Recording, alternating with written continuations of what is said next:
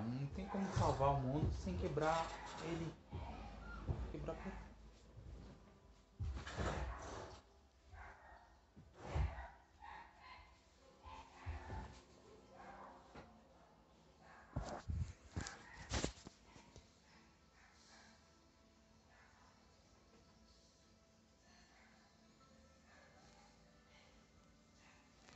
hum. Não é isso.